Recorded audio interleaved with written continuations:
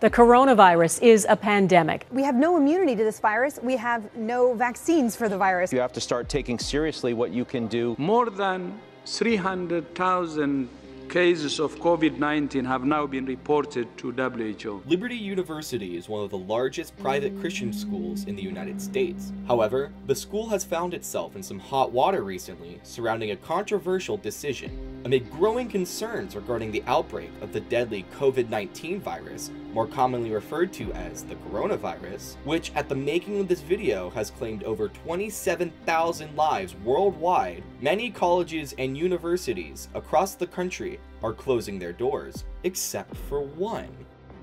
But one university is bringing students back to campus during this crisis. Liberty University remaining open. Liberty University, led by President Trump's strong ally Jerry Falwell Jr., is reopening its doors. But that is very different from inviting students to leave their homes and come back to campus. Despite these growing health concerns, Liberty University, run by President Jerry Falwell Jr., has decided to remain open to any student who wishes to return for the spring semester, sparking outcry from the media, students, and even faculty members. While President Falwell is no stranger to controversy, he's also been the target of false reporting in the past, and much of the reporting regarding Liberty's decision has been rife with conjecture, misinformation, and flat out lies. Because of this, I decided to get to the bottom of things and go to Liberty myself to see what is true and what is outrage. My name is Jonah Lackey. I've been a journalist for a little over two years now,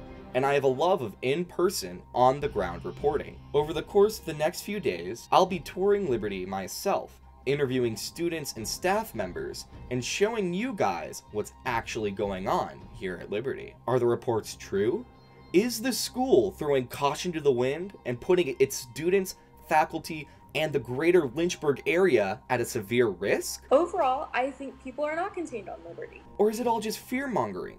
And is the school actually taking all necessary precautions to keep everyone safe and healthy? Uh, they definitely, you know, they're following, like I said, all the guidelines by the government. I intend to find out.